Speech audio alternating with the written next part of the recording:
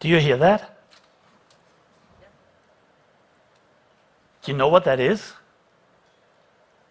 Silence. The sound of silence. Simon and Garfunkel wrote a song about it. But silence is a pretty rare commodity these days, and we're all paying a price for it in terms of our health. A surprisingly big price, as it turns out. Luckily, there are things we can do right now, both individually and as a society, to better protect our health, that give us more of the benefits of the sounds of silence. I assume that most of you know that too much noise is bad for your hearing. Whenever you leave a concert or a bar and you have that ringing in your ears, you can be certain that you have done some damage to your hearing, likely permanent. And that's very important. However, noise affects our health in many different ways beyond hearing. They're less well known, but they're just as dangerous as the auditory effects. So, what do we mean when we talk about noise?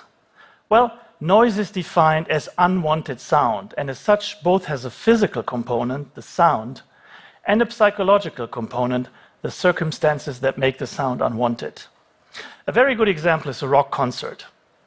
A person attending the rock concert being exposed to 100 decibels does not think of the music as noise. This person likes the band and even paid $100 for the ticket.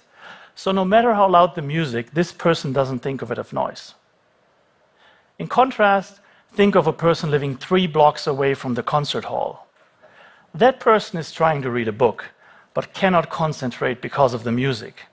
And although the sound pressure levels are much lower in this situation, this person still thinks of the music as noise. And it may trigger reactions that can, in the long run, have health consequences. So, why are quiet spaces so important? because noise affects our health in so many ways beyond hearing.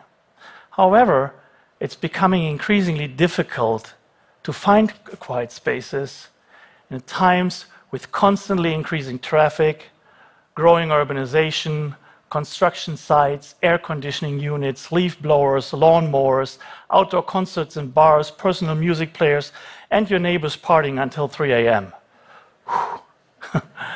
In 2011, the World Health Organization estimated that 1.6 million healthy life years are lost every year due to exposure to environmental noise in the Western European member states alone. One important effect of noise is that it disturbs communication. You may have to raise your voice to be understood. In extreme cases, you may even have to pause the conversation. It's also more likely to be misunderstood in a noisy environment. And these are all likely reasons why studies have found that children who attend schools in noisy areas are more likely to lag behind their peers in academic performance. Another very important health effect of noise is the increased risk for cardiovascular disease in those who are exposed uh, to relevant noise levels for prolonged periods of time. Noise is stress especially if we have little or no control over it. Our body excretes stress hormones like adrenaline and cortisol that lead to changes in the composition of our blood and in the structure of our blood vessels, which have been shown to be stiffer after a single night of noise exposure. Epidemiological studies show associations between the noise exposure and an increased risk for high blood pressure, heart attacks, and stroke, and although the overall risk increases are relatively small, this still constitutes a major public health problem because noise is so ubiquitous and so many people are exposed to relevant noise levels. A recent study found that US society could save $3.9 billion each year by lowering environmental noise exposure by 5 decibels, just by saving costs for treating cardiovascular disease. There are other diseases like cancer, diabetes, and obesity that have been linked to noise exposure, but we do not have enough evidence yet to, in fact, conclude that these uh, diseases are caused by the noise. Yet another important effect of noise is sleep disturbance. Sleep is a very active mechanism that recuperates us and prepares us for the next wake period. A quiet bedroom is a cornerstone of what uh, sleep researchers call a good sleep hygiene. And our auditory system has a watchman function. It's constantly monitoring our environment for threats, even while we're sleeping. So, noise in the bedroom can cause a delay in the time it takes us to fall asleep. It can wake us up during the night, and it can prevent our blood pressure from going down during the night. We have the hypothesis that if these noise induced sleep disturbances continue for months and years, then an increased risk for cardiovascular disease is likely the consequence. However, we're often not aware of these noise induced sleep disturbances because we're unconscious while we're sleeping. In the past, we've done studies on the effects of traffic noise on sleep, and research subjects would often wake up in the morning and say, Ah, I had a wonderful night. I fell asleep right away, never really woke up. When we would then go back to the physiological signals we had recorded during the night, we would often see numerous awakenings and a severely fragmented sleep structure. These awakenings were too brief to, uh, for the subjects to regain consciousness and to remember them during the next uh, morning, but they may never, nevertheless have a profound impact on how restful our sleep is. So, when is loud too loud? A good sign of too loud is once you start changing your behavior. Uh, you may have to raise your voice to be understood, or you increase the volume of your TV. You're avoiding outside areas, or you're closing your window. You're moving your bedroom to the basement of the house, or you even have sound insulation installed. Many people will move away to less noisy areas, but obviously, not everybody can afford that.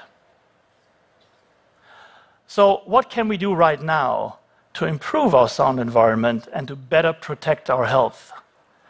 Well, first of all, if something's too loud, speak up.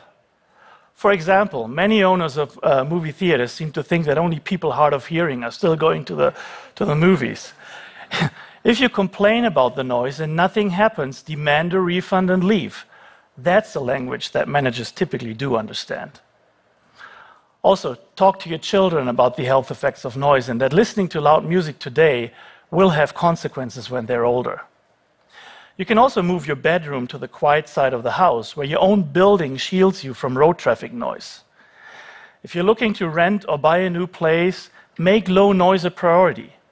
Visit the property during different times of the day and talk to the neighbors about noise. You can wear noise canceling headphones uh, when you're traveling or if your uh, office has high background noise levels. In general, seek out quiet spaces especially on the weekend or when you're uh, on vacation. Allow your system to wind down. I, very appropriately for this talk, attended a noise conference in Japan four years ago. When I returned to the United States and entered the airport, a wall of sound hit me.